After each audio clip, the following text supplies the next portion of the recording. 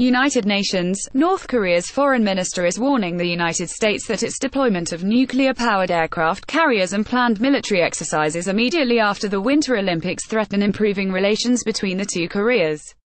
Ri Yong-ho said the United Nations should NT remain silent about what he called the U.S. dangerous game of aggravating the situation in and around the Korean peninsula and driving the whole world into a possible disaster of nuclear war. In a letter to Secretary General Antonio Guterres circulated late Thursday, he also accused U.S. authorities of misleading public opinion to believe the inter-Korean dialogue is the result of U.S. sanctions and pressure. Ri said it was North Korea's leader Kim Jong-un who launched peace efforts on the Korean peninsula, where a touch-and-go war danger was prevailing.